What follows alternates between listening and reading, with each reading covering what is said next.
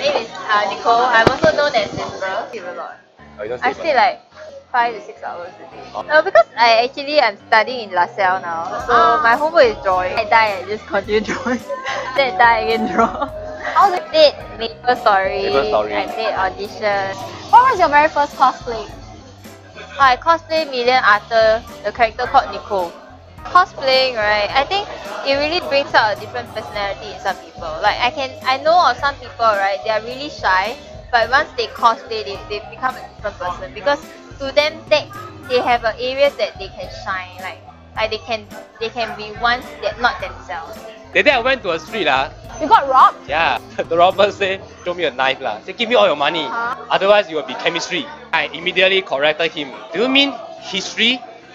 Don't try to change the subject.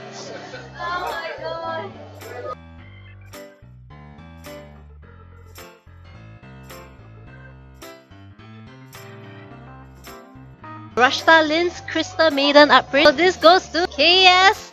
Eh, eh, eh, eh. Oh, Yay! Anime Yorozuya. Kantai Collection Akagi figurine.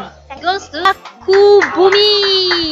Uh, Sonic Girls Spark Plug Turbo goes to Yuki Yukino 123. I believe he's here. Yes, so I'm Lizzie. I'm Vinny. Cai Tao. Huh? See you next week.